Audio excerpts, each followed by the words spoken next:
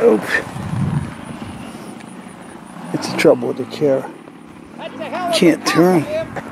Huh?